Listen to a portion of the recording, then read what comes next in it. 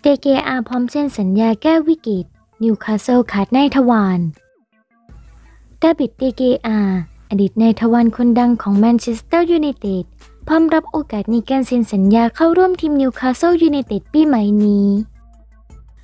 สื่ออังกฤษรายงานว่า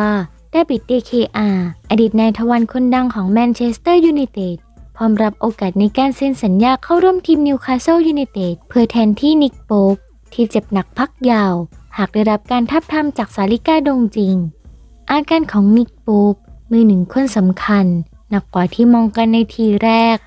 โดยปัญหาไหลหลุดจากเกมเชิดแมนยูไนเต็ด1ต่อ0เมื่อวันเสาร์ที่ผ่านมา โดยหลังจากการสแกนละเอียดแล้ว พบว่าต้องผ่าตัดคาดว่าจะต้องพักยาวราว4-5 เดือน การพักด้วยระยะขนาดนี้ของโป๊บทำให้เอ็ดดี้ฮาวต้องเสาะหานายทวารคนใหม่มาเพิ่มตัวเลือก นอกเหนือจากที่มีมาร์ตินดูบราฟกา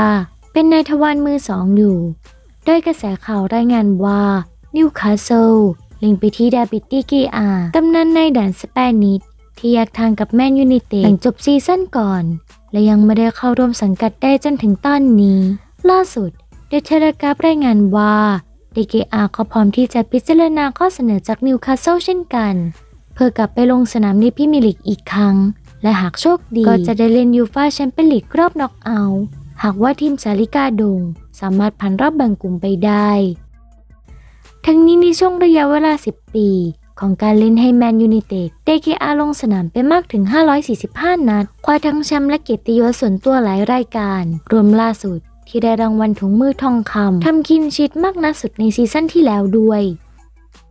สื่ออังกฤษเผยแข้งแมนยูครึ่งทีม ไม่เอาเทนฮากแหล่งข่าววงในรายงานว่า เวลานี้นักเตะแมนเชสเตอร์ยูไนเต็ดกว่าครึ่งทีม เริ่มไม่พอใจและหมดศรัทธาในตัวเอริกเทนฮากกุนซือใหญ่เป็นที่เรียบร้อยแล้ว ปีศาจแดงทำผลงานโดยรวมฤดูกาลนี้ ได้อย่างน่าผิดหวัง โดยในเกมพรีเมียร์ลีกแพ้ไปแล้วถึง 6 นัด มีอยู่ 24 แต้ม รั้งที่ 7 ของตาราง ส่วนในศึกยูฟาแชมเปี้ยนลีกเวลานี้ รั้งอันดับสุดท้ายของกลุ่ม A มีโอกาสตกรอบค่อนข้างสูง เนื่องจากนัดสุดท้าย ต้องเปิดบ้านชนะบาเยิร์นมิวนิกสถานเดียว พร้อมกับไปลุ้นให้คู่ระหว่างโคเปนเฮเกนกับกาลาตาซารายจบด้วยผลเสมอเท่านั้น จากสถานการณ์ที่เกิดขึ้นทำให้ล่าสุดคาเวห์โซลเฮโคลนักข่าวของสกายสปอร์ตออกมาเปิดเผยโดยอ้างถึงแหล่งข่าววงในว่า นักเตะแมนยูกว่าครึ่งทีม ไม่ประทับใจแนวทางการทำทีมของเทนฮากรวมถึงวิธีการปฏิบัติกับนักเตะ โดยเฉพาะในรายของเจดอนซันชู ที่ถูกจับดองยาว และถูกสั่งแยกซ้อมกับทีมชุดใหญ่